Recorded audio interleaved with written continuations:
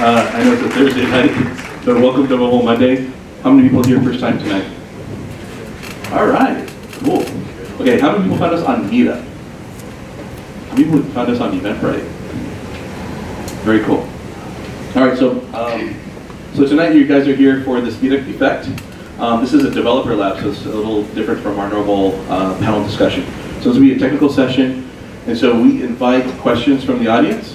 Um, it's an interactive, so if you are, how many people here write code? App developers, perfect. So um, ask these folks lots of questions. If you have it, um, this is the whole intent for this for this meetup is really to make it interactive, ask questions like, hey, how did you do that? Or how does this affect? I have an app that does blah. How are you going to help me? Um, definitely welcome. So that's uh, that's part of the, the format of tonight's event. Um, I'm Mario Tapia. I've been putting uh, developers together since 1999 in the mobile eco, space. Um, so almost 18 years, uh, at least one meetup a month for the last 18 years.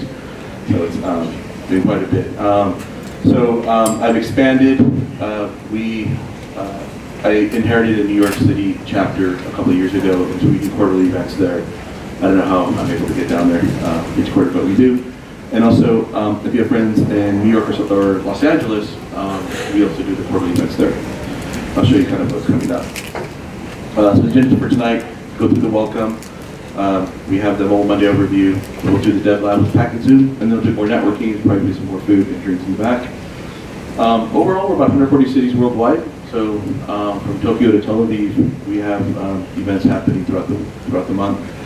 Um, in Silicon Valley, LA, and New York City, we're about 30,000 folks. So roughly about, if you guys signed up on Eventbrite, I have a questionnaire, but what's your function? Um, about a third of you are developers, um, the other third are product and marketing, and then the other third are business development and sales, with a little bit of, any designers here tonight, UI, UX? Maybe one? See, yeah, all right. Unicorns. Um, so what do we do? So we have monthly topic meetups.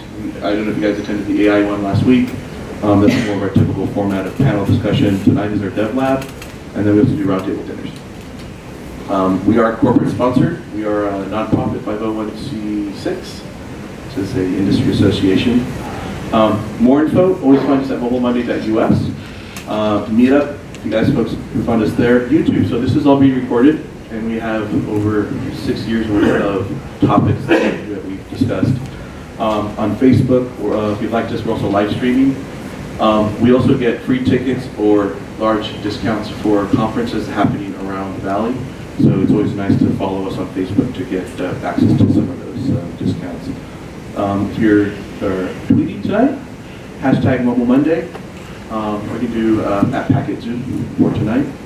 Um, and I think uh, here's our upcoming events. So um, at the end, beginning of June, hackathon in New York.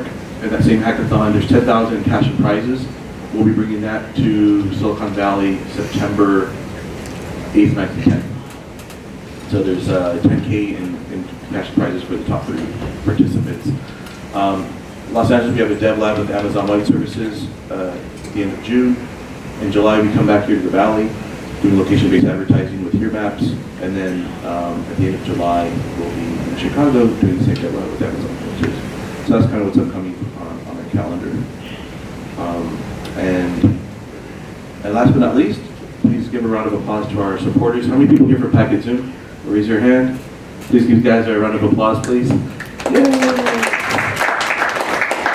And also thanks for the folks at Google Launchpad for hosting us here tonight, uh, making this available. And, and Brett, over there in the back, if you have questions about uh, about about the space, I know he probably has a, you're eating a taco right now. but um, but uh, Brett with the Google Launchpad t-shirt in the back uh, can also answer questions about this space, um, focus on startups and ecosystems. So thank you very much. Without further ado, I'll introduce uh, first speaker from Hi everyone, uh, my name is Patrick. I uh, manage the sales engineering department at PacketZoom. For those of you that don't know, uh, PacketZoom is the leading mobile networking solution for mobile uh, apps. We offer developers an end-to-end mobile networking solution that helps to mitigate the network issues uh, the mobile, uh, mobile networks present. uh, and thereby making the user experience better. You might be asking, how can better mobile networking lead to better user experience? Let's first talk about uh, user expectations. Studies have shown that a majority of users expected app to load in four seconds or less. Almost half expected two seconds or less. Of these impatient uh, users, very few of them would actually blame the network or the carrier. They'd actually just blame the app or the developer. Uh, we know this not to be the case. Let's take a look at a few popular apps uh, being used on a wireless network. This uh, just so happens to be the wireless network at our office that uh, struggles to get to our that conference room. The irony isn't lost on me, a mobile networking uh, company with that network. Um, as you can see here, uh, the user experience leaves much to be desired on wireless networks. Instead of consuming data, the users are, um, are waiting for the data to be sent to them. Instead of browsing Groupon or looking into hotels or reading the news, uh, the latest thing Donald Trump has said, uh, they're waiting for their content to load. I'm sure that most of these apps were developed uh, using the best practices for developing a mobile app. Um, I'm sure they were tested and worked fine in office, on Wi-Fi, with the router 15 feet away. But the reality is when you get into a, uh, a real mobile network, uh, they change. Each mobile network is different, each network changes uh, in time uh, due to, to environmental factors, uh, both human and natural. Here's some, uh, some data about those mobile networks. There's uh, millions of devices that use the PacketZoom SDK. Each of those devices sends us data points. We have billions of data points about the networks that these apps are connected to. What you see here is uh, what we call disconnects. That's the percent of sessions suffering from disconnects averaged across all the countries. Uh, it might be obvious, but red's bad, orange, yellow bad, green's good. Um, you can see that uh, countries with good disconnect percentages don't necessarily equal good speed. Again, red bad, green good, yellow in between. Hold the mic up a little closer to your mouth. Oh, sorry. Everybody hear me now? Yeah It's a little awkward. The fact is, this isn't even half the story. There's packet loss, there's high latency, there's low bandwidth, there's spotty coverage of dead zones in wireless networks. If we can overcome these issues, we can give our users the same great experience that we tested in our offices. Um, point out also, there's uh, around 220 countries in the world, 800 mobile networks, uh, we shouldn't expect our developers to be able to uh, program for each of these networks. To explain more about these network issues and what can be done to overcome them, allow me to introduce Chetan Ahuja, the CTO and founder of PacketZoom. Chetan comes from a networking background and mobile app background. He started at Riverbed, where he tried to squeeze every bit of performance out of wired networks, and moved on to AdMob, where he did the same for wireless performance. Finally, he ended up at Google, where while riding the Caltrain to work every day and trying to use his iPhone, the frustration with, with mobile networks boiled over and he decided to do something about it. Without further ado, Chetan. Thank you. Okay, let's assume everyone can hear me. Um, While, while, while that thing is loading, let me do something else here. It's loading. Let me know when it loads. No? Was it was it annoying?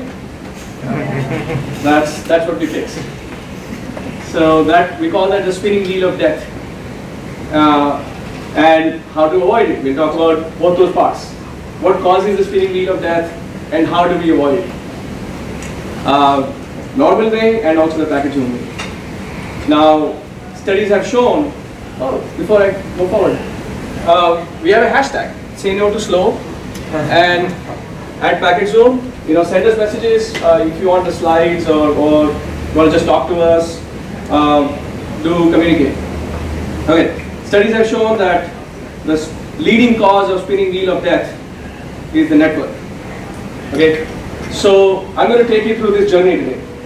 I'm going to start with describing how the network is causing some of these problems. Uh, some of you are developers, uh, there's some uh, mixed crowd, so I'm trying to go slow and start from the bottom, okay? Please don't get impatient. If you already know a lot of this stuff, the fun stuff will be coming later, okay? So, we start the networking stack with Internet Protocol, the IP. Everybody knows what IP address is. So, the Internet Protocol is about addressing things so that you know you can actually address a node in, in a different corner of the world. Also routing packets to that node. So if I, if I have a computer node sitting here trying to send packets to another node in China, that node has an IP address and I have an IP address. And that's the only way we can really communicate over the internet. Okay, that's a, that's a 10,000 foot view of what IP is. Uh, on top of the IP stack, you have a reliable, uh, stream-oriented, in-order, big words, reliable, stream-oriented, in-order delivery of packets uh, through Transport Control Protocol, TCP.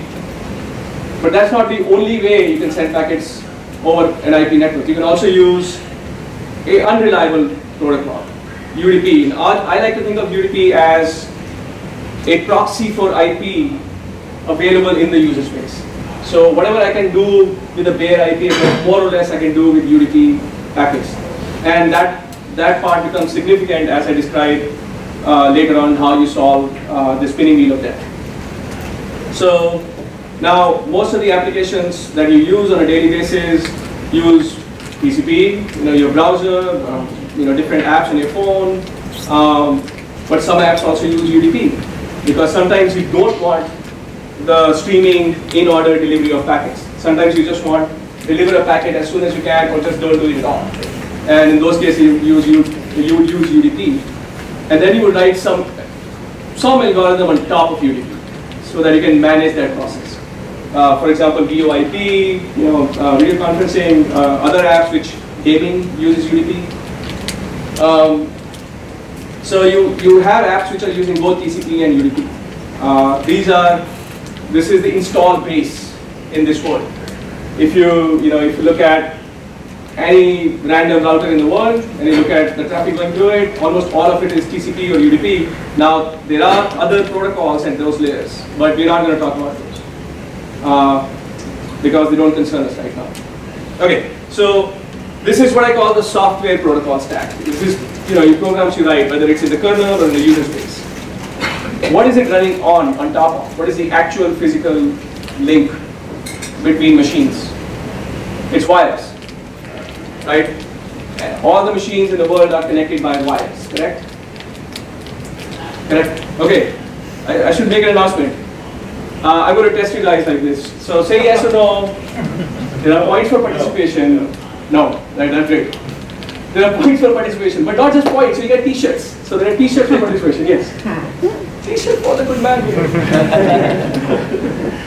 uh, okay, so, so no, that's not correct. It's, most of the world is actually using the internet without wires now, or wireless. In fact, see, I'm not lying about the t-shirts. so, most of the world is using the internet over wireless. Um, the study came out last November in 2016 uh, about, I think the wireless, the mobile traffic overtook uh, non-mobile traffic for the first time. Uh, like it is 51 to 48.5% or something like that. So what you really should be looking at is wireless as the base of your operation, not wires. And then things have changed. Now most of the traffic is going through wireless, but what about the protocol stack?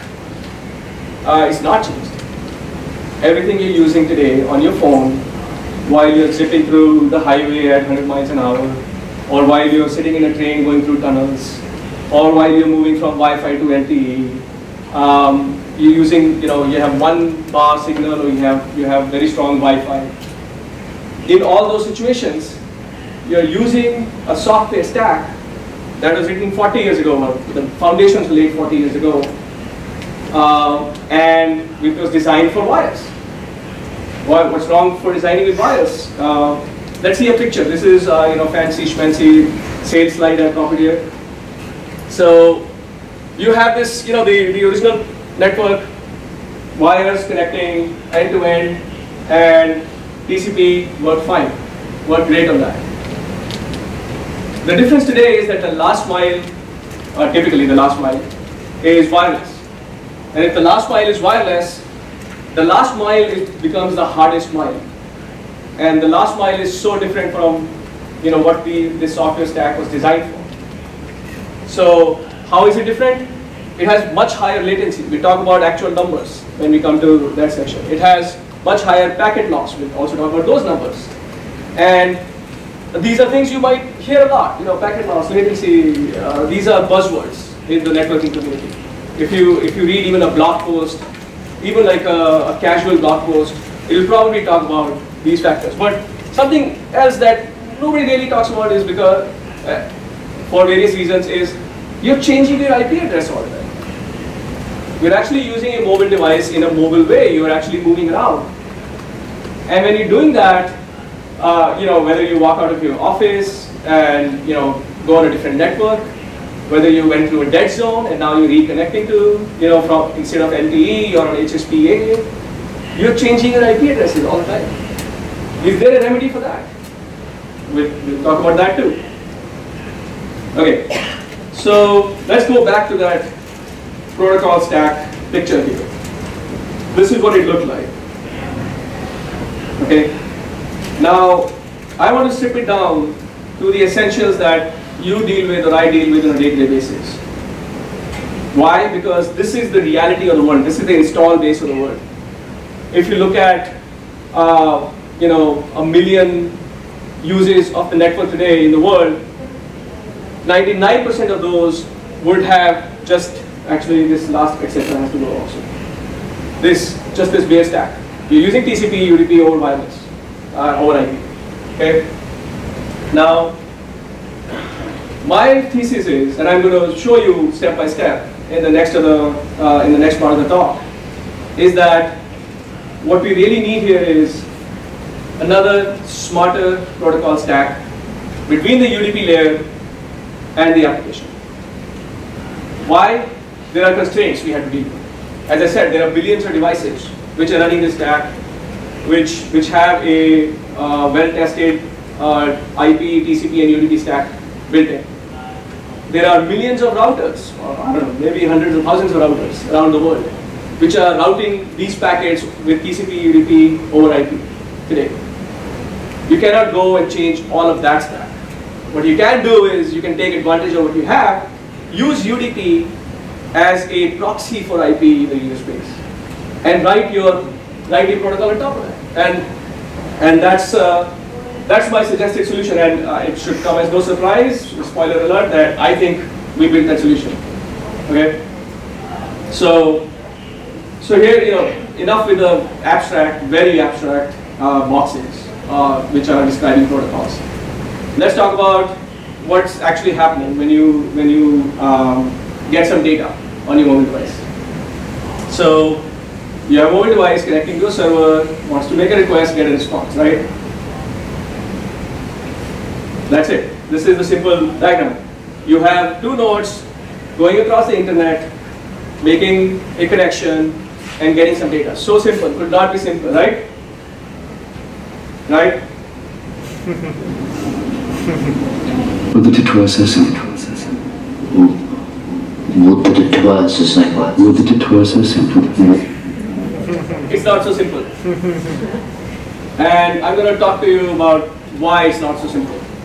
I'm going to use a device that uh, you will see in every paper, every textbook, uh, every conversation about uh, networking protocols. It's called a network timing diagram.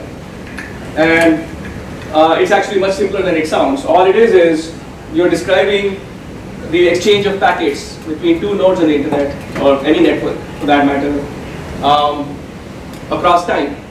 And in this diagram, time flows in the forward direction downward in the diagram. So, for example, if the phone has sent a, a packet to a server, it's moving in space to the right towards the server and moving in time downwards. So this, this describes a packet going to the server. In the reverse direction, uh, you have another packet going back to the phone. Now, this is what we call a round trip. This is a round trip is something you'll hear a lot. So, this is the time taken for a round trip. Round trip time is a, is a key metric uh, in networking. Now, I'm going to put a number here and I'm going to ask you guys, does this number sound like a typical round trip, time, round trip time number? If you have heard of round trip times. If you have, yes, no? No? What if I was uh, sitting on my Comcast network at home and pinging Google? Would that work? Where is your phone? Or my home is in the Bay Good question. It depends. The answer is it depends, right? So this exists. 10 millisecond exists today. I, I'm using it at home. I'm using it in my office. But more typical, because of the reasons we talked about before, because majority of the traffic is over wireless, the more typical, typical number is 100 milliseconds. 100 milliseconds is a tenth of a second. Okay? So you, if you do 10 of these round trips, you spend a second. And when it, once it goes beyond about a third of a second, human perception catches on. You can actually feel the weight at about a third of a second. So a, a tenth of a second is a significant amount of time. So network timing diagrams, uh, I just described, right? Okay, 100 milliseconds. That's a, that's a typical, remember this number. 100 milliseconds, one tenth of a second. If you do five of these round trips, it's half a second. Half a second is annoying to a, to a human trying to access an app. All right. So this was our simple request response. We want to see how, we want to go in depth and see how that will play out when you go into that timing diagram. All right. So what does your device do when it's trying to make that request? The first thing it has to do, I'm- okay, I'm going to show you a timing diagram device to cloud. Uh, it's not uh, just to one server, but multiple servers in the cloud.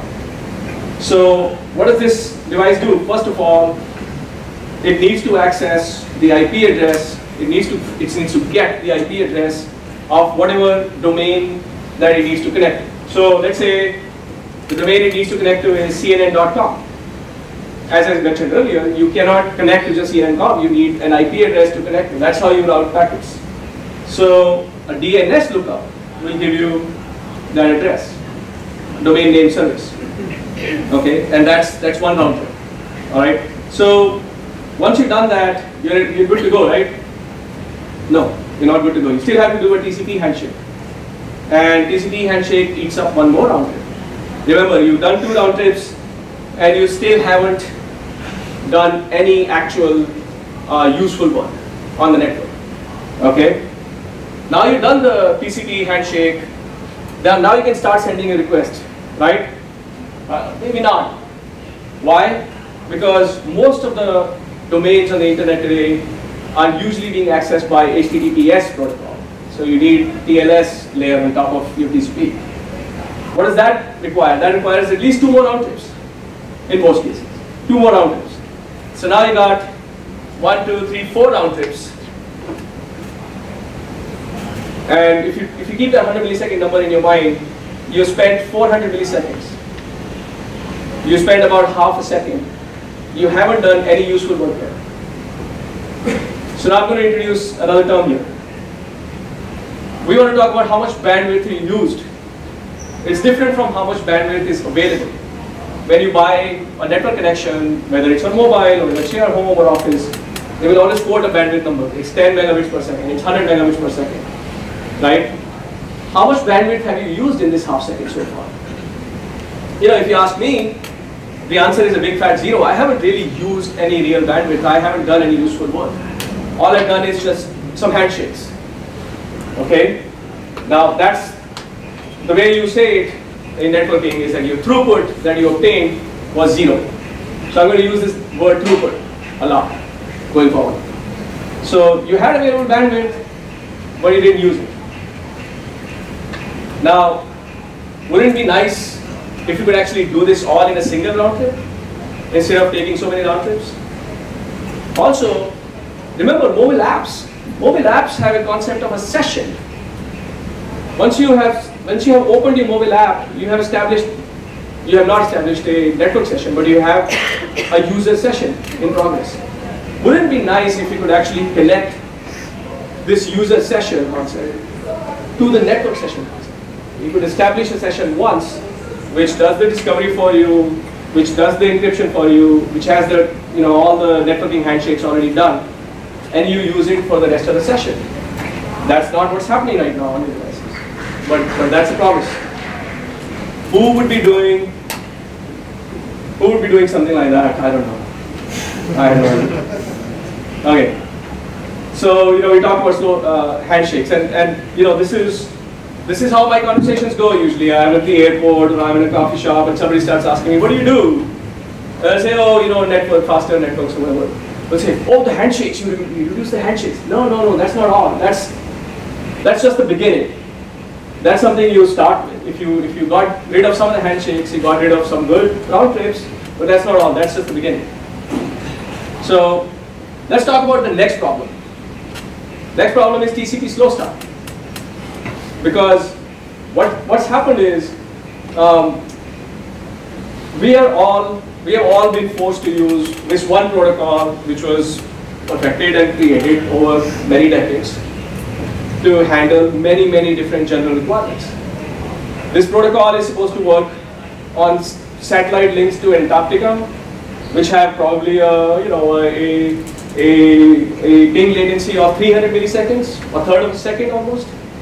But they're also supposed to work well between two big honking servers in a data center connected by a 10 gig interface, where the latency might be in microseconds, in thousands of milliseconds. And, and, and to deal with all these possible cases, TCP has had to adopt this very general algorithm something that's, that kind of works across all these cases. And that's what we call slow start. Because, so let me give you an example of the phone is trying to get a 100 kilobyte file. It's a typical image. It's like a typical JPEG. Trying to download it. It's 100 kilobytes. You just started a fresh TCP connection.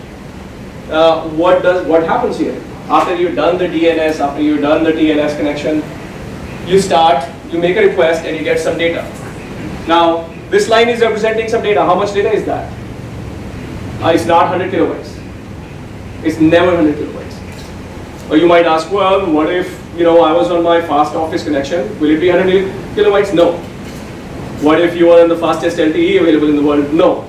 It will never be 100 kilobytes. It's something in the range of, you know, depending on the network stack, perhaps 3 to 10 to 15 kilobytes at max.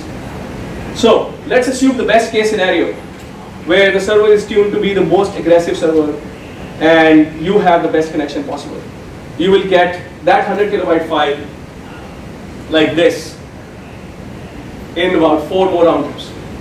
So remember, you spent four round trips to do all the handshakes, and then you spent four more round trips to get that 100 kilobyte file. Now, I'm going to say this is costing you money, you're losing money. I'm going to show you how. So let's talk about how much time it took. This one took 400 milliseconds, and the handshakes took 400 milliseconds. Total of 800, 800 milliseconds. How much throughput did you get out of this link? How much throughput did you get? I did the calculation for you. It's something in the range of 1 megabit per second. So here's what I'm telling you.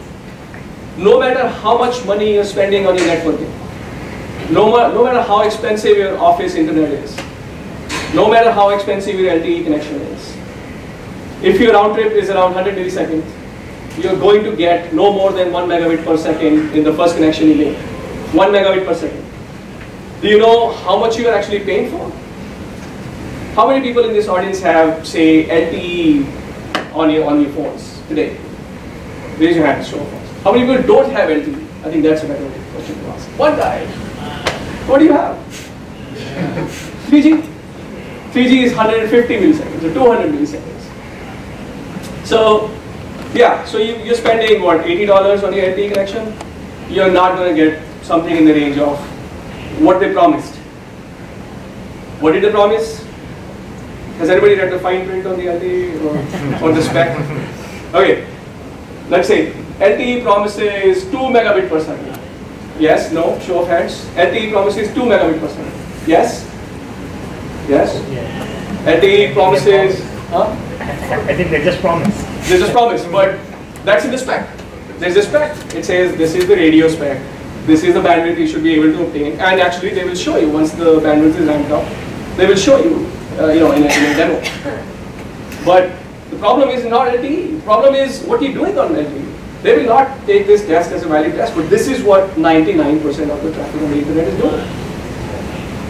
So LTE is actually promising you 5 to 50 megabits per second, depending on which network. Up to 50 megabits per second. You are paying for it. But you're not using it because the software you're running on your phone, not by choice, this is what you got, and it's not even by, for example, Apple's choice. It's not even by Google's choice. This is the damn spec. This is how you expect it to live. Yeah.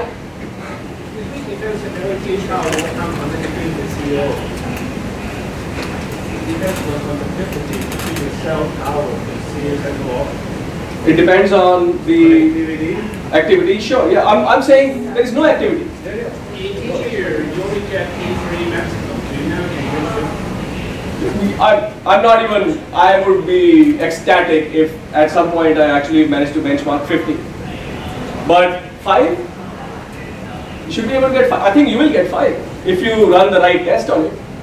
If you run the right protocol on it, I think you will get 5.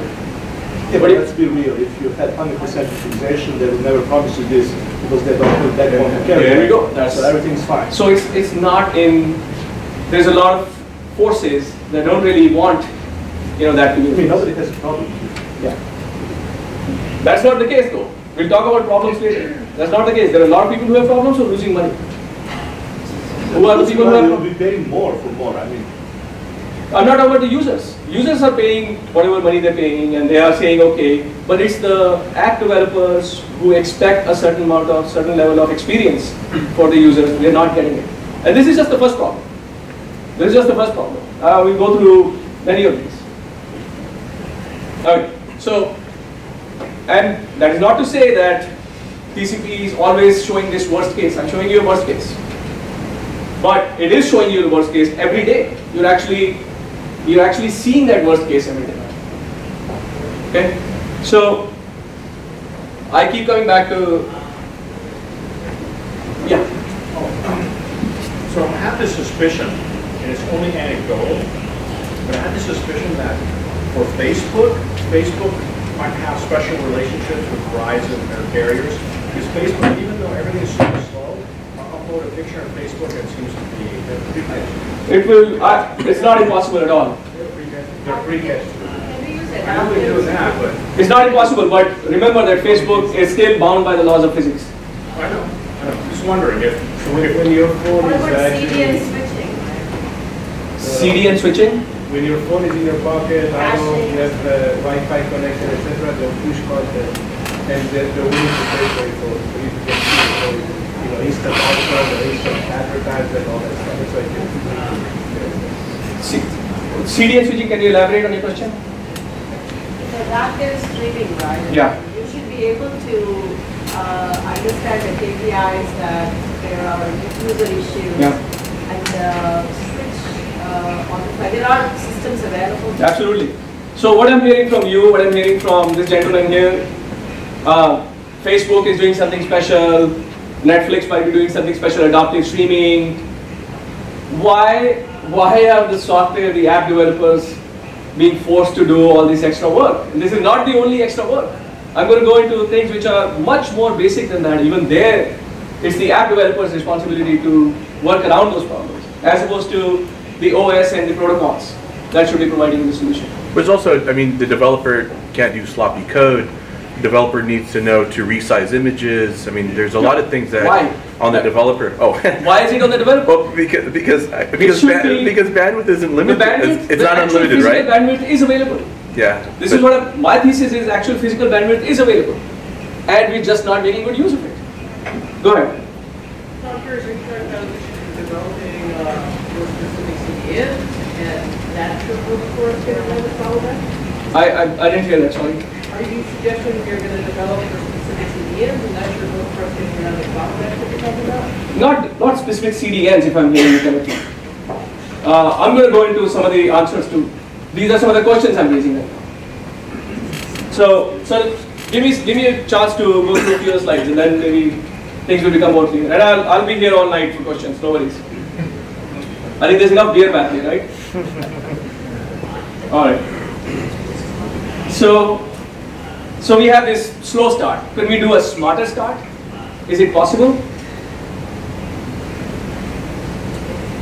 Who might be doing such a thing? I have no idea. So let's think. Let's look at a possible smart start. Um, we, you know, we, I had some questions about how developers are trying to work around these things, but can actually the network do something better? And the problem here is, as I described earlier, TCP is trying to work the same way across a thousand different networks. It's been designed for that, and it does very well for that. But what if, what if you went crazy and you decided, no, no, no, I'm going to actually have specific algorithms for specific networks, and I'm going to detect them in real time, I'm going to query them in real time, and I'm going to do the right thing for that network. For example, you have the same diagram as before, okay? And you have the same, same task, download a 100 kilobyte file, right? And when the request goes to the server, the server, instead of, you know, in a dumb TCP fashion, just trying to send 14 kilobytes, did something like this. It did a lookup. If the server did a lookup to say, let me see what network this is. It's LTE, Verizon, San Francisco, this time, you know, faces of the moon, what have you, whatever the, whatever the factors are that you need to consider. And then did the right thing for that network. Could that be done? I don't know. Maybe somebody is doing it. You might even have somebody like this in the room. but so so this is very possible, and this is being done today. Uh, we can talk about this more later. Uh, I'm not here to do marketing. So let me go to the next problem. Uh, the previous problem actually. By the, before we got to the TCP slow start, we had all these going on, right? What if you don't have to do all these every time? Every time you connect to a new domain. What if you don't have to do that? One, once, what if you establish a session once at the beginning of the app and then just you use it for the rest of the session. You maintain the state. If you had all that, and if you had the smart start, you know how much throughput you would get from the same connection? You would get about 8, I did the math for you, about 8 megabits per second. Assuming the 8 megabit was available for that. So, and, and this is not magic. This is just software. This is just software that looks at the same problem in a different way and solves it for a particular case. Solves it for the case of mobile apps sending you enough information with their request to let you make a smart decision. So we talked about you know the bad handshake problem, we talked about the slow start problem. And the slow start problem can be solved if somebody actually uh, had a knowledge about all the networks in the world. Is that possible? I don't know. Maybe it is. Maybe someone has done it. We have done so, okay. So, so what we see in slow start so far, uh, that is the best case by the way. The slow start that gave you one megabit per second, that was the best case in this in this particular scenario. What is what is a slightly less than best case? Slightly less than best case is reality, everyday reality. You're moving around, you're in the shadow of a building, there are solar flares, there are clouds, you're losing packets. You're losing packets over the air. And losing packets is a big, big deal for TCP. I'm, I'm losing packet. It's shown here with a red line here, as, as is obvious. Um, what happens when there's packet loss? What happens with TCP if there's packet loss? I'm going to go through two or three different looks at this problem. First of all, I'm going to show you just a schematic of packet loss occurred. You see here, TCP had already ramped up to its high bandwidth scenario. It was giving you good throughput. but then suddenly you walked, you know, to the wrong corner of the building and dropped one packet. One packet. And TCP says, no, no, no, I'm going to back the heck off here. Why? Once again, TCP was designed for the situation where everything was connected by wires. So think about this, everything is connected by hard wires end to end. It's, it's, it's not circuit switching, but still, every device on the network is connected by a hard wire. What does that mean? That it's very rare to lose a packet on a hard wire. Very rare. Yes, there will be induction losses. Yes, there will be bad wires. Yes. But it will be a rare case. And it will be fixed once it's discovered. But the case today, in the wireless world, you cannot fix it. You, again, you're bound by physics. You cannot fix all the packet loss. You can try your hardest. You can try trading packet loss for some other property like maybe latency and this is what physical networks do. But you cannot get rid of all packet loss. All physics packet loss in the medium. And, and this assumption, this uh, reaction, which is I'm going to back off because I'm causing congestion in the network, is wrong. Is wrong in most of the cases. The problem is, uh, I'm showing you the same thing again. If even if it ramped up, it could not it could not, um, you know, uh, go beyond this speed. And you would actually see in reality, you would take packet captures of a connection going over a regular Wi-Fi network, and you would see that it will just fail to go beyond a certain throughput. Because every once in a while, a single packet will drop because of the physical environment, and you lost the packet, and you lost the throughput. Okay. So now I'm going to show you a different view of the same thing. I'm going to show you a real experiment data from a real experiment that shows clearly how even a tiny amount of packet loss will cause havoc on your throughput. Okay, so this is this is the data here. I'm trying my hardest to not trip over this by the way. So this there's a bunch of data here, so let me uh, let me kind of go over it uh, slowly. So this is the chart of throughput versus pack, uh, probability of packet loss, and this is created by experiments. This is done uh, by actually this. I, I stole this data and this image from this blog post uh, from ThousandEyes.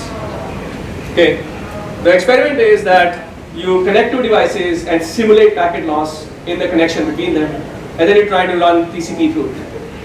And what you're seeing is three lines. You're seeing you're seeing a theoretical line. There is actually a theoretical model of how the throughput will change with packet loss. And there's a formula. The formula is published in 1997 by Matthew Mathis. Um, and you can, and the, and the green line is what the formula says is going to happen at any given packet loss. 1%, 2%, 3%, 4%. I'm going to focus only on 1% packet loss. Why? I'll show you reason. I'll show you in the next slide. But 1% packet loss is a good number to focus on. So let's, let's look at that. At 0% packet loss, that means in the best possible scenario, the best real algorithm, which is called CUBIC. This is a TCP protocol algorithm for congestion control. It was able to achieve 3500 kilobits per second of throughput in the best scenario in that network. Okay, now watch what happens uh, when you have 1% packet loss. With 1% packet loss, the throughput you obtained was less than one third, 1% packet loss. In the ideal scenario, you should have uh, obtained 99% of the throughput. Or maybe not so ideal scenario, 90%, 80%. You're getting one third with 1% packet loss. So, so here's my question. I'm going to show you some real data, but here's my question. And this will merit a t-shirt. Okay? How many people think that you see 0.1% packet loss on a daily basis? Let's say 0.1 to 0.5% packet loss on a daily basis. Raise your hand, show of hands. You see about 0.1 to 0.5. I'm, I'm going to go higher too, by the way. So, how many people think that it's going to be 0.5 to 0.8% packet loss on a daily basis? Okay, how about 1% packet loss on a daily basis? Okay. Yeah, I think I kind of gave it away, right? The whole 1% thing. All right, so 1% packet loss is very common in the US. Um, Uh, I think you do deserve a t-shirt. okay. So, so let me show you actual data. This is data coming from our own measurements. We have a few million, as Patrick was mentioning, we have a few million devices running our SDK currently in the world. And we're collecting a couple of billion data points a day from all over the world. And this is showing you uh, the actual percent of packet loss from around the world. Uh, you, you can see some the usual suspects, you know, doing well and usually not doing so well. But doing well, let's look at the doing well usual suspect. Green, USA, 1.3% average packet loss. 1.3% is across all networks, but majority of use, uh, US internet usage is coming from LTE or Wi-Fi. And LTE and Wi-Fi are 1.2 and, sorry, Wi-Fi is 1.2 and LTE is 1.6% approximately. This is real packet loss on a daily basis that you're seeing on your $80 a month network. Okay, so what, what that means is that you are almost never likely to achieve more than one third of the bandwidth you actually paid for. Your achieved throughput is likely to be about one third or less of the bandwidth you paid for because you're using TCP. So what is the what happens? The spinning wheel of death. I'm really fond of this. So let's talk about why TCP has to do that. Why does it have to treat every packet loss as congestion? Is there a good solid reason? Uh, first of all, is it even possible for the TCP sender side to know that it's a congestion loss and not not you know a loss due to being in the shadow of a building? Is it even possible? Uh, yes. Raise of hands. Show of hands. Yes. No. Show of hands. No. No. No. Okay. So when there's a yes or no question, I expect all the hands to rise for one of those two options. Okay, I'll, I'll give one option. Maybe is maybe a good answer. Still, come on. Yes, no, maybe. It's not. What? What? You can say maybe. Maybe it's no no commitment there. All right. So the answer actually is maybe. The answer is maybe only if you're not bound by a lot of the things that TCP has, TCP's design has cornered it into. If you were if you were able to write that protocol that I talked about, which was sitting between the app and and UDP, and were free to do anything you want when it comes to acknowledgements, when it comes to timers, when it comes to memory management, you can actually, with a, a good precision, fairly decent precision, can guess whether this packet loss was due to congestion uh, or this packet loss was due to physical loss. I'll be happy to engage anybody who wants to challenge me on this for like an hour after the talk. okay? Because we've done it. We've done it. And, and if you think about how it can be done is you watch history. You watch a history of a connection, not just that one event of a packet loss. So with a history of a connection, you can guess with high level of certainty that this is packet loss due to congestion or this is packet loss due to uh, physical medium. Okay, so if we did have that confidence, if we did have that level of certainty, that we can tell with high degree of uh, certainty that it, packet loss is actually not due to congestion. It's actually due to a drop, a real drop in the medium. Well, you could do something like this. You could resend just the packet. Perhaps you can back off and be a little bit cautious, but resend just the packet instead of decimate or instead of making your throughput one third of the available bandwidth, maybe 90%, 80% with 1% packet loss. That would be a good win. It would be a huge win. So this is something we do. Now, yeah. What if the what if the whole stack was built from scratch? Assuming that packet loss will be a huge problem, and not just congestion packet loss, but real physical packet loss. Who would do such a thing? I have no idea. Who would do? Who would go to those those lengths? Anyway, so as I said before, uh, we if you have ever cracked a book on networking, or if you ever even heard, you know, two network geeks, geeks talking about uh, this, this subject, you would have heard packet loss, you would have heard slow start, you would have heard round trip time. But something that most people don't talk about, this is this is probably, I think, the key from this talk. If you want to, if you want to take one message away, the next section it is, and it's going to be, it's going to be a story. I'm going to tell you a story. There was this little boy, innocent little boy, about 10, 12 years old, wanted to listen to music. Was downloading songs on his iPhone but he had to go out with his friends at the same time. So he walked out of his house, disconnected from Wi-Fi. He, he was sure that as soon as he steps out, he'll be connected to Wi LTE. And he kept waiting, and he kept waiting, and he kept waiting. And he gave up, never got that song downloaded. Why? Because he's only a 12 year old boy, he would not, he would not be patient beyond say 20. I do have a 9 year old uh, boy, so I know. He would not wait for more than 20 seconds for that song. Should he have to wait for more than 20 seconds? That's the question we're going to answer. But before I do that, I want to ask you one question. Uh, who here has not had that experience? Please raise your hand. Okay, so who here has had that experience? Still, some hands are still not raising. Come on, guys. you can get a t-shirt. All right, so everybody everybody knows this frustration, right? You walk you walk out of your uh, nice Wi-Fi, you have a nice LTE available on your phone, but you're waiting for like 50 seconds, or you're waiting for a minute, waiting for more than a. Why? Who do you who do you blame?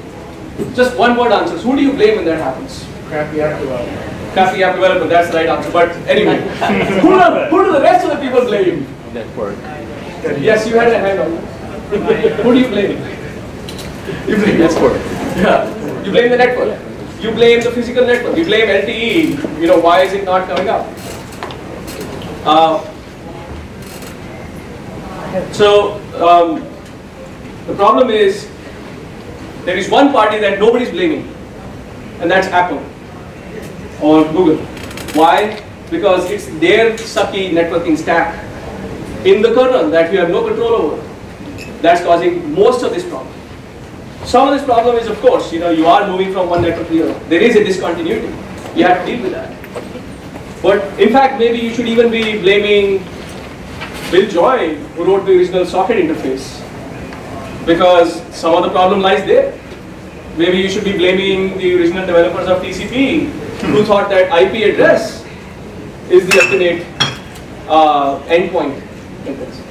Maybe, maybe you can do better than that. Yeah. So, uh, what if I send the information, like say I I got all of these packets in my my mobile, so, so you in cache, my initial you saying you cache the initial data? Data, and in my initial request, I just piggyback it with the initial request and send back to the server. Um, great, great thinking. A smart app developer will actually go, and we have seen, we have we've talked, talked to app developers all day long. We have seen app developers go through amazing hoops, amazing hoops to try to fix this problem. But you cannot, you cannot because the programming model, which is based on the TCP model of networking, yeah, is broken. That's the problem. Yeah. Okay, so so let me show you a real example of this problem. So remember that this is the one, if you want to take out, uh, you heard a lot of people talk about packet loss and uh, round trip times. But this is something you probably have not heard about. So let me show you let me show you a diagram. Can people back in, in the back can see this? Maybe on that screen over there? Okay, so let's see what's happening here. This is a packet capture, a real packet capture of from an iOS app, which is which is doing the following. It's uh, it's making a HTTP request for a for a piece of content, and then the Wi-Fi is shut down, and LTE comes on okay and it's um, it's waiting for a timeout and then it's going to retry that same uh, connection once once the timeout has happened okay so I'll show you uh, the actual events that are happening here so first of all this is where Wi-Fi was lost if you can read and you cannot read I'll read for you this is the 10 second mark This is a synthetic test. We made it a large file and we made it a very slow connection. Okay? This is the 10 second mark. At 10 second mark, Wi-Fi was lost. And at the 30 second mark, 20 seconds later, the download was restarted. This is, you're seeing actual packets. The red dots, by the way, are TCP connections being started. So what you're seeing is 20 seconds between when you lost Wi-Fi and when a new connection was started. Okay. Now those red dots are basically new TCP connections being started. Um, okay. Now if you watch the green dots here, green dots are telling you when the network is available. In the portion of the line where there are no green dots, there is no physical network available. Wi-Fi was up, available up to 10 seconds, then see this blue, that's where there's no actual physical network available. How did we get this? The green dots are actually just pings. We're doing a ping in a background process to a remote host. At 20 second mark, LTE came back. And watch, there's a 10 second delay until the new connection was started. Why this 10 second delay? Why? I'm not going to ask a why question because that could lead down a blind alley. But the question I'm going to ask you this is this. You see this 20 second gap?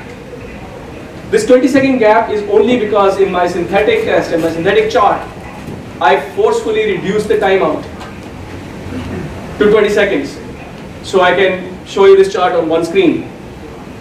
But if I hadn't done that, which most of the people don't, most of the app developers don't, do you know what the timeout is? Uh, should I just say number? Okay, 10 to 20 seconds, 45. Um, okay, this is an iOS. This is important here. So this is an iOS application. 60 seconds. 60, 60 seconds is the timeout. Why 60 seconds a timeout? Because because there's a lot of history behind it, and the history uh, is misleading us as usual. So the 60 second timeout. If I hadn't done this, if I hadn't reduced the timeout to 20 seconds, this restart would happen out here at 70 seconds. And, and this is something that you will never hear being discussed, this problem. Why? Because there is absolutely nothing you can do about it. There is absolutely nothing you can do about TCP timeouts, yes. Another question. Uh, yes. Uh, there's no question that TCP, TCP is bad. Uh, Yeah. So um, the question is this. TCP is doing two basic things. One, it gives you reliable transfer, which you're doing something. Yeah. So whatever you do, you know, you do swarms, you know, whatever, whatever you do, you do have to deal with loss. One way or the other. If that better TCP is working TCP, this is going to affect them all of them. The second thing is... This is not going to affect all that. I'm going to show you an example where it doesn't. Uh, the, second, the second thing is uh, security, because the datagram works, works, the thing security is also associated with that as well. Right, you play attacks, whatever. So eventually, once you have the same functionality, you are going to maybe be a bit better TCP, but not so. That's that's I've heard this so many times. I've probably started having these conversations. The uh, reason is I'm saying this Yes. because we have implemented infrastructure, we run Unity for three years now, we have problems with SDKs and exit numbers. Yeah. So you can do almost so much better. So I, I I'm not questioning what you're doing, you did it three years ago. Yes. But uh, this is uh, the thing that you have to deal with. Yes. So the real way to deal with this is to go application level and ask them, why do you need reliable transfer? Yes. Or why do you... That's one- So that's, that's the biggest thing. I mean, this is, this is easy part. Yeah. Okay, so so the I mean I think I don't think everybody heard that, but basically the assertion is that the real way you deal with this problem is you don't necessarily need reliable transport in every situation, and that's actually right. You can there's a lot of things you can actually do better if you have out of order transport and you had uh, enough metadata in each of your datagram so that you can you know your application. But how many app developers do you think who have the capability or the interest or the time who can actually go through all of that. That's it's a very very small number, and I, I think I lay the, the blame down at the feet of the you know the the operation operating system developers. They have to fix this problem, but if they don't, we have a solution. So uh, you know thank God for that. So so anyway, so let me show you how it can work better. you know, once again, I, I told you this is this is the bane of my life, and I keep showing you this. Now, if you did, you know, notwithstanding uh, the question you asked, if you did actually um, build something from scratch, which will not rely on just the IP address as the address, as the final endpoint address, but you could actually build out something which will treat, which will give it a real identifier. When I when I'm talking about an app running on a device, I think that app running on a device is its own unique thing. It's it doesn't change. It's not. I mean, when you're using it tonight at home and you're using it tomorrow morning in the office, when you're using it the rest of the day, it's not going to change. So why cannot I, cannot I treat that entity as the endpoint that I'm directing my packets to? Now, of course, I still need an IP address at any given moment. But that should be my job as a, as a provider of the software stack to you, the application developer, to make it work for you. Not your job as the application developer to go and you know try to meddle with that level of the stack. Okay, so let's say such a exciting thing did exist. How would that behave? You're lucky because I'm going to show you. So this is the same operation conducted by a protocol. I don't know whose a protocol that actually does the right thing, that actually identifies the device and the app installed on it as one entity and does active acknowledgements from the client side to reconnect as soon as the connection is available. So now watch this. You, you started the transfer at that red dot and the network was out for these 10 seconds, same 10 seconds where the blue, where there are no green dots and as soon as the physical connection became available, you restarted the transfer. And this, this, this takes many different things. It takes the sender side to know where this device is now. You change your complete network, not just the IP address. It, it requires the sender, the, the receiver side to help. So if you build something like that, this is how it will behave. Now watch, this only takes 30 seconds to finish. Once again, this is an artificial example with a huge file. The previous one took 100 seconds to finish. So the lesson here is, uh, you know, the, my, as I keep mentioning, the lesson here is that the, the stack we're using is not built for today's world, it's not built for your life as it is today. It's built for 1980s, 1990s. And there is there's a lot you can do despite the constraints of what's available in operating systems and what's available in the routers and the middle boxes.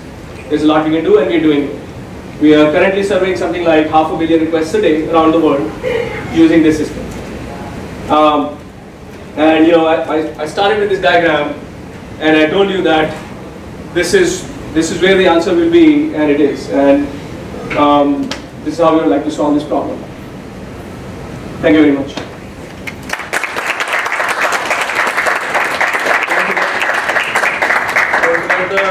Connect with us on Twitter. I'll send you the slides and any other data that you have. So in case you guys didn't catch on to the subtleties, PacketZoom's fixed this. and uh, it's available right now. Um, you know, Mario mentioned uh, changing from higher resolution images to lower resolution images and to tie it back into uh, to customer experience. You know, if you're going to go with a lower resolution image just so it loads faster, um, that's not a very good customer uh, or user experience, right? Um, there was talk of building your own protocol and you know, how much time your developers going to spend on that. Um, it's already fixed, and it's uh, it's easy to do. Um, the PacketZoom solution provides you uh, three different things. It provides you analytics um, into your HTTP uh, requests. We can show you where your errors are coming from, um, what's going wrong with your network. Uh, we can even break it down by URL, which which URLs are failing, which URLs are uh, getting 404s, 503s, uh, whatever it might be. We can show you the response time distribution of your, uh, your requests. Uh, which countries, countries by response time. Uh, we've got a ton of data, and uh, we make it all available to you. Where in the world your requests are coming from. Once you see these analytics, you can optimize your requests. You can turn on PacketZoom, speed up your Wi-Fi by 200%. Uh, and you know, a lot of people think Wi-Fi is great, but uh, in my tiny apartment from my living room to my bedroom, I've got a ton of packet loss, and we can help out even Wi-Fi. Can optimize your, uh, your API calls, your dynamic requests, um, make them faster and more reliable. And we can reduce your disconnects. So uh, anytime a request is made and you uh, change IP address, that request will fail. Um, with PacketZoom, we reduce uh, disconnects by 80% or so. And we provide you control. You can pick which, you, which URLs will go through PacketZoom. You can turn PacketZoom on and off dynamically from the dashboard. Uh, turn HTTPS support on and off. Change the percentage of users that would go through PacketZoom from the dashboard. And uh, our, our customers love us. We've got uh, over 347 apps uh, from 68 different customers, around 42 million uh, monthly access, uh, active users. And uh, implementation couldn't be simpler. You install the SDK, it's drag and drop. You add one line of code to initialize the SDK, and then you control it all from the dashboard. Uh, you set the filters for which URLs will go through PacketZoom. Uh, as I said, off and on, uh, percentage of users that go through. And uh, you sit back, deploy your app, and, uh, and watch the benefits. So what's the revenue model? Great question. Um, we, we charge per uh, daily active user. So uh, what our understanding is that most developers are used to thinking about things on a daily active user uh, level. And so we charge So uh, your servers are pinged every time it's used? every time every time a request is made for a URL, you set up your regular expression to go through PacketZoom, um, unless it's cached on the device. Yeah. So the DAO is 500 daily, right? What's that? The DAO, the DAU is 500 daily. Is that correct? Uh, you're talking about for free? Oh, at the base level. Yeah. Yeah. Any other questions? Technical or otherwise? Yep. Um, maybe you can help me understand. So, um, the proxy is uh, being put in, sits on the, the mobile device, and the request for different um, resources are going from the device to uh, a SaaS, serv- uh, uh, I guess, a service that figures, um, there's a set of uh, service that routes all incoming requests for different apps. Yeah, sure. Can you So, repeat the, can you repeat the question for the back? yeah, so uh, the question is, how does it actually work? Right. Right, so the, the, the basic method is you get an SDK, install it in your app, when the app is, and you set a filter to say which, we start seeing all your URLs going through, we hook into the libraries that do HTTP connections. And uh, as we see the, the URLs going through, you would have set a filter on a dashboard saying, only capture these and send them through PacketZoom proxy. So they're proxied through the PacketZoom infrastructure. Yeah. Go ahead. Where is the geo filtering set? Uh, geofiltering is also set on the dashboard. You can say use it only for India, or use it only for US or Europe, whatever your requirements are. According to time allocation as well? What is that? According to time allocation, can be set at? We don't have time like daytime, like, no, we don't have that. He's saying if you can time it out, set a timeout. Oh, timeouts. Well, No, no, no, time allocation, because there's certain zones No, where. no, he's talking about like time of the day, which time of the day it should be. No, we don't have that filter, but it shouldn't be very harsh on us. Yes. Second I can still ask you about the same thing. So, I'm still trying to understand, um, there's a client setting on the, the mobile device. Yeah. Um, so it's trying, so it's actively trying to figure out whether a request for a certain URL needs to be sent to an PacketZoom. external, oh, PacketZoom or an external, so it has to, so that whatever URLs have been set up, that list is pushed to the client. Yeah, so, you know, most apps would have many SDKs, ads, you know, um, analytics, what have you, and we don't want to capture all the stuff. We want to capture your stuff, right? Unless you want us to, we can actually capture everything. So what we, we see all the traffic going through on the client side, but dynamically in real time, you can go on a dashboard and try changing, you know, which regular expression it should be filtered out. And, and then we only use, you know, only send those URLs through the PacketZoom proxy, and the rest goes through its normal destination. Question. Are the metrics via, from the dashboard exportable as well? Uh, you can, whatever charts you see in the dashboard, you know, we make their CSVs available to you. Yeah. Yeah. Go ahead. Do you support multiple streams on a single connection? Multiple Yeah. streams. Yeah, multiple streams. So if I wanted to download multiple files from the same place, Absolutely. it doesn't create separate connections. Absolutely. In fact, one of the things I, I didn't even talk about here, but it's another important part of how PacketZoom does things different and better, uh, is that you, you know, what, what do people do? I didn't, I didn't really go into that here. What do people do to defeat slow start? Right? They would do multiple HTTP connections so that there are four streams going on at the same time so they can fill that pipe. But the problem is, how does TCP behave when that happens? Each single TCP stream is acting on its own, even if it's going to the same server. And it's trying to maximize its own bandwidth, watching packet loss, and then backing off. It's a horrendously inefficient use of the network. And uh, I don't even know, I mean, I, my mind is blown when I first saw, learned about this a few years ago.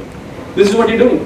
What we do is, we base, you know, your, your key traffic, you just hand it, hand it to, uh, you know, your, through the HTTP mechanisms which we automatically capture, they all just get queued. And you can actually set priorities on the queue. And you can say, this type of URLs should get a higher priority than this other type of URLs. And we actually deliver it intelligently based on those priorities. And if there's no priority, they get intelligent, they get delivered in a queue as we were as they were received. Yeah. Uh, whatever the network security, or like, or what promises are you making to your clients? Well, we, we don't, so there, there is a lot of legal and regulatory stuff involved in uh, TLS. TLS has been written into uh, specs like, uh, um, uh, I'm forgetting the name, but the credit card, uh, that, uh, right.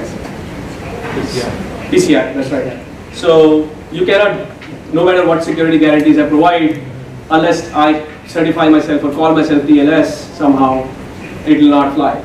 So we don't we don't even try to go and, and try to convince people to send secure stuff to us, transactions or user data or anything like that. The other part of this is that um, the way we, we work, you know, you, you might be leaving traces on your device, on the server side, and we don't want any uh, privacy critical stuff to go sit on our devices. So we stay clear of that.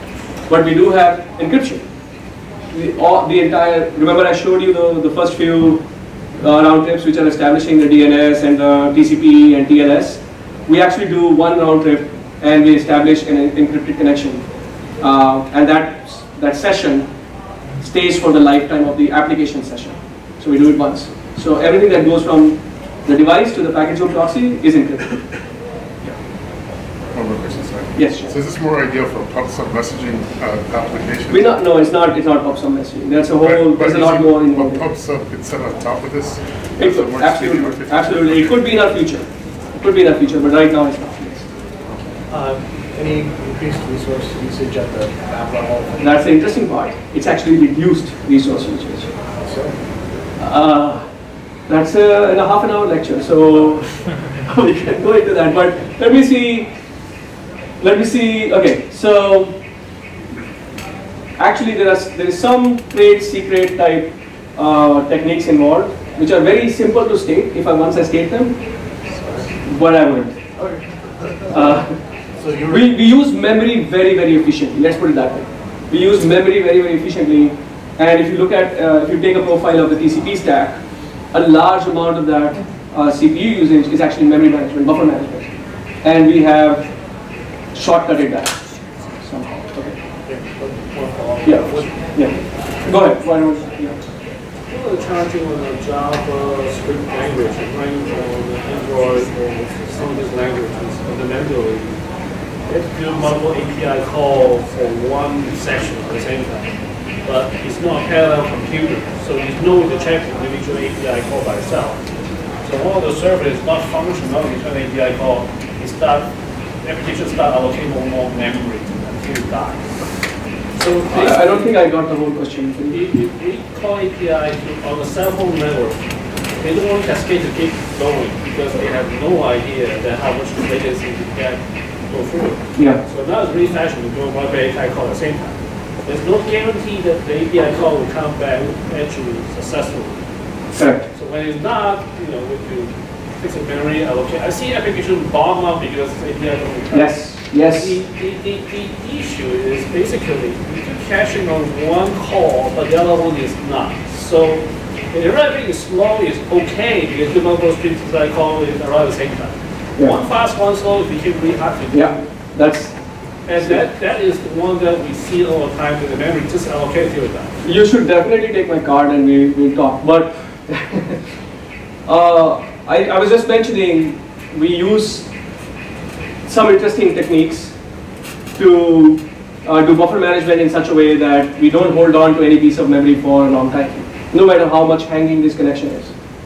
Um, and uh, the, the scenario you're describing, once again, goes to show the, the model that, that we're using is broken. The model we're using is broken. The receive windows, the congestion windows, the windows in the application because now you're trying to defeat TCP's protocol in your application. So It's not a stack problem because fundamentally that it's not a parallel computing problem. You have one call, you don't do check any one of them coming back at all. Well, it, so at the at JavaScript layer, it's not. It's not JavaScript is single threaded, but It's that call. yeah, but but once it's in the kernel, it is actually parallel.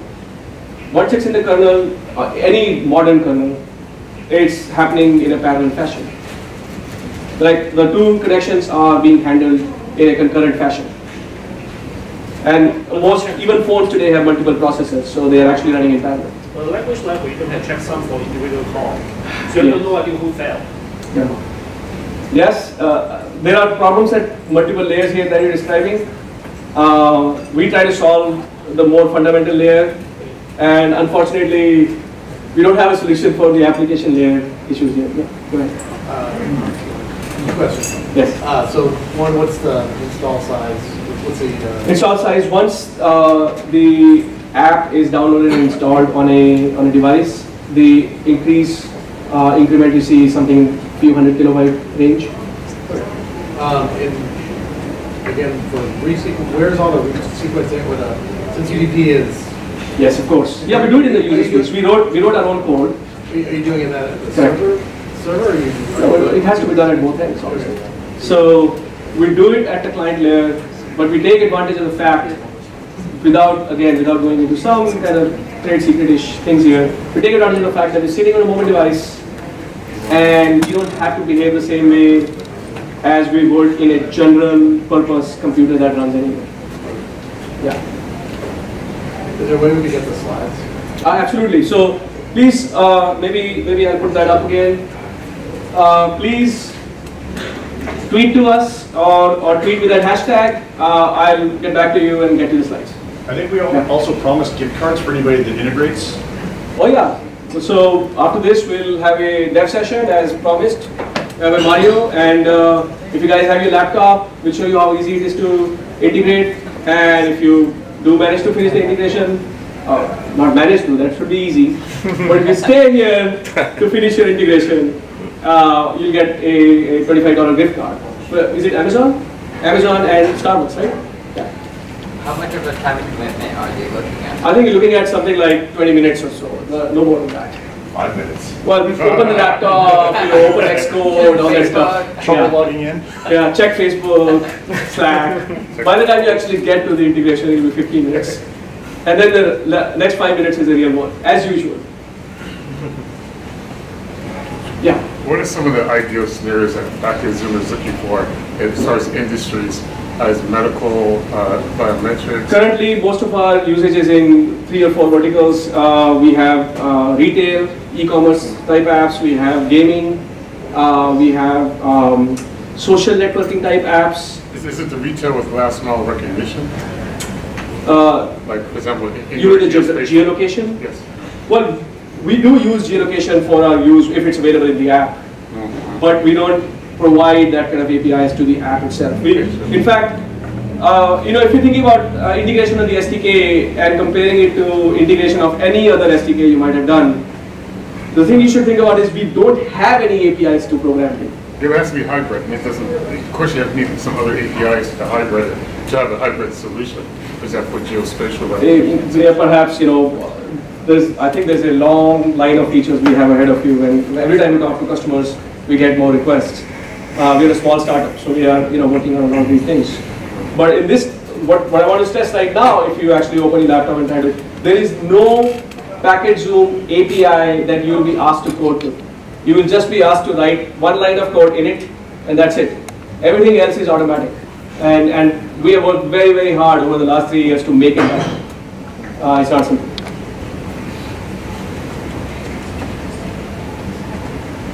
I'll be happy take questions uh, on the side, the more detailed questions that probably not being addressed in this forum. uh, And of course, tweet at me I'll be, I'll, I'll be happy to engage in conversations. And, all right? Great. Thank you.